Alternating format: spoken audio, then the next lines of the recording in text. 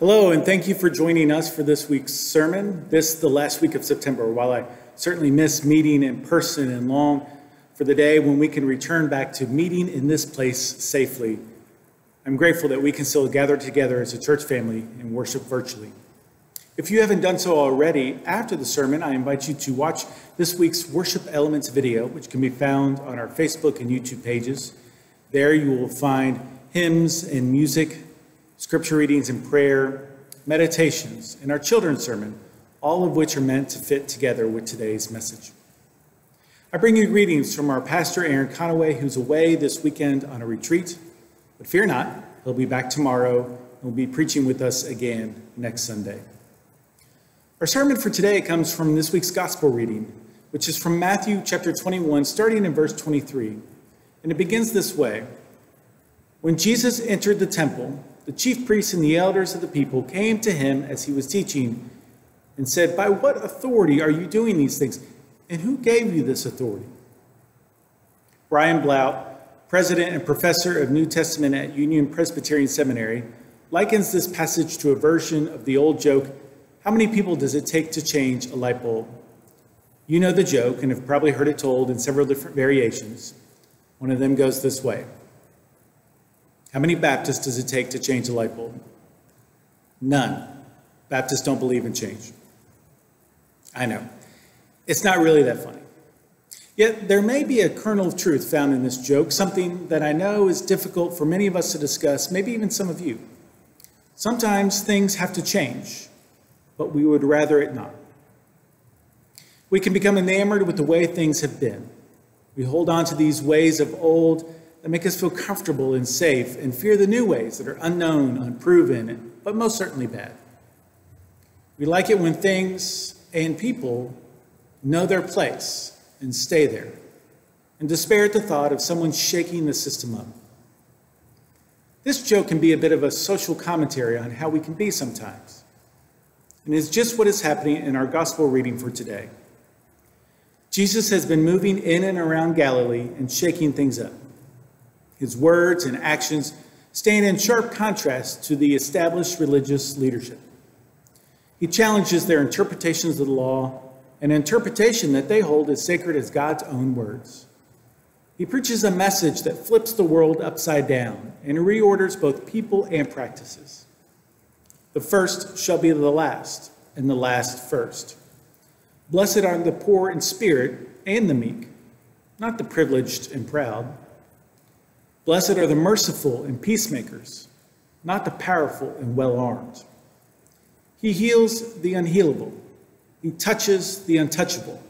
He fellowships with the outcast. He eats with the sinner. He speaks for those who haven't been allowed to speak for themselves. And he even breaks a few of the modern laws and calls them unjust. Now, Jesus has come to Jerusalem, the center of religious and political life. He rides into town like a king, greeted by gathered crowds who have spread their garments on the pathway as they would for any hero's welcome. They sing, they celebrate, they wave palm branches and cry out, Hosanna, Hosanna! Save us, O Son of David. Then Jesus turns and goes to the temple, where he becomes angry and causes quite a scene. You remember, he flips over the tables and drives out the money changers. He disrupts the structure and order of things and chastises the religious leadership for desecrating the temple with their malpractice. Something new is happening. Jesus is changing things. It is as if he just walked in, climbed up on a ladder, and changed the light bulb. He does this without asking anyone's permission. He just takes the old light bulb out, which is still burning, by the way, albeit dimly, and he puts in a new, brighter bulb, one that lights up the whole place and shines on the darkest of practices. And some are mad. They don't want a new bulb. The old one seemed to be working just fine for them. The chief priests and elders walk over to Jesus and ask, Just who do you think you are? I think the chief priests and the elders have raised a perfectly fair and reasonable question for Jesus. He has barged into the temple like he owns the place and is changing things up. His behavior is well outside the bounds of social norms and customs in the least. But of course, we know that the point of this question really pushes far past those customs and concerns. They're trying to spring a trap for Jesus, something bigger. This man, this Jesus, has been speaking with authority. He's been teaching with authority, leading with authority, healing with authority, casting out demons with authority, forgiving with authority, and even conferring his authority onto his own disciples. Just where did Jesus get all of this authority? The chief priests and the elders are trying to force him to admit in front of everyone that he doesn't really have any real authority to do any of these things.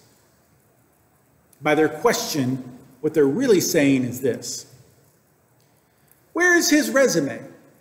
Show us his curriculum vitae. His family heritage is unknown. He has not gone to a prestigious school, or any school for that matter. He has no undergraduate degree, no seminary degree, no doctorate of ministry or theology. He has no diploma or certificate. He has not been licensed or ordained. He carries with him no letter of reference. No one has mentored him. He has neither fought nor bought into any position of leadership, and no one has voted him into office. He is someone who has gone rogue, a wannabe prophet, a one man self righteous writer. We're asking him to show us his credentials because we know he doesn't have any. And you want to know why we know this? Because we are the ones who give out the credentials. We are the elders who teach and train the young. We are the chief priests who pick and direct the associate priests. We are both the nominating committee and the deciders. We are the ones in charge. We are the ones who make things happen. And this Jesus, he has not taken any of our classes. He has not read from any of our books. He's not turned in any of our assignments. He's not taking any of our tests. There's no way he could pass any of our finals. He is trying to circumvent our long established and perfectly good system, and he has absolutely no right to do so. Okay, they didn't really say all of that, but you know they're thinking it. It's just right underneath the surface. Maybe it's an attempt at clever manipulation or for fear of the crowds that have been following Jesus with great excitement. But the chief priests and elders are going to try to get Jesus to be the one to say all of this himself. They're just going to ask him a simple question, and they want him to admit it. They want him to own up to the fact that he doesn't have any authority to change the label. He's a fraud, or even worse, a fool that actually believes that God has given him to do the, the authority to do what he has done. They're just asking a question, just a little perfectly reasonable, totally unavoidable, simple, short, and honest, maybe, question. And as members of the Jewish aristocracy, it's well within their right to ask. I think now is a, good time for me to say that I think questioning someone's authority can be a good, even necessary exercise from time to time, even if it's a workout that can wear us out. I know it makes a lot of people nervous, including yours truly, but it's all part of necessary checks and balances that can protect people from those who might overstep or abuse their positions. Because we all know that with authority comes power. And power can be used for good or can be used for harm. It's an important task, questioning authority. And that's been happening a lot around our country lately. One might say that we are up to our necks with it. These are tense times, anxiety is high. A lot of things, a lot of people, a lot of institutions are being called into question. Policing and politics, judges and courts, rights and privileges, votes and methodology, medical experts and personal freedoms, leaders and followers, citizenship, even basic human rights.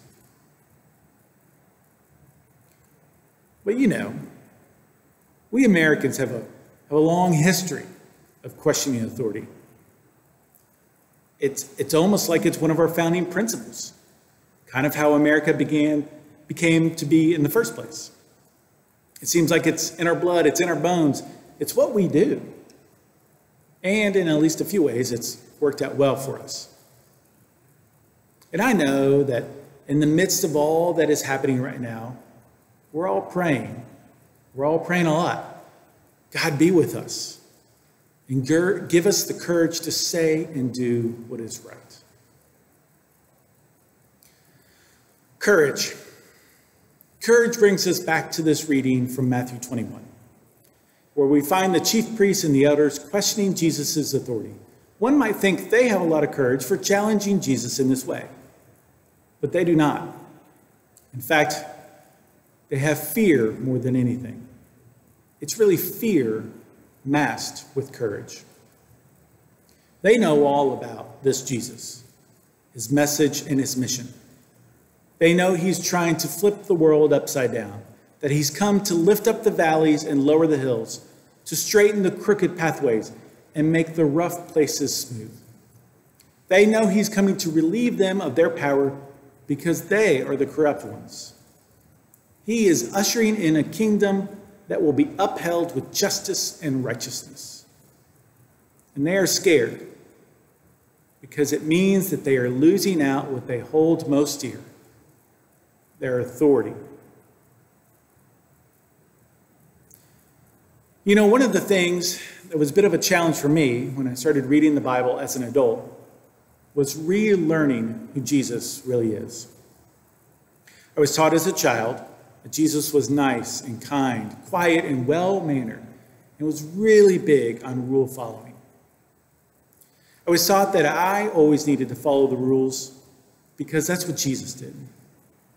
And if I just followed all the rules, just like Jesus, I could get dessert after dinner, or a basket of candy at Easter, or presents on Christmas morning. The WWJD craze hit when I was in high school. You might, you might remember those bracelets with the initials WWJD, which stood for What Would Jesus Do? I wore one. Several of my friends did as well. Anytime we saw someone doing or saying something untoward, we would snap our bracelets at them and ask, What would Jesus do? These bracelets were a helpful reminder to always be good, quiet, and well mannered and rule following kids.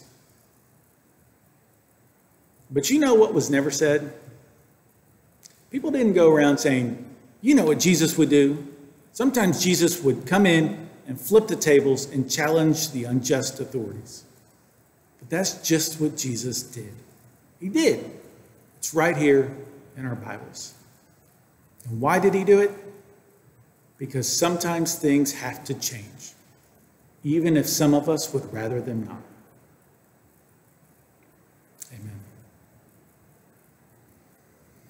Sisters and brothers, my hope and prayer for you this week is that however dark the night gets, know that you are being held by a love like this. The Creator who made you still claims you in his covenant love. The Redeemer who died for your sake lives again by the word of God. And the sustainer of all creation yet breathes courage into your heart. Go then, serve boldly, for God's desire encompasses the whole creation. Go in peace.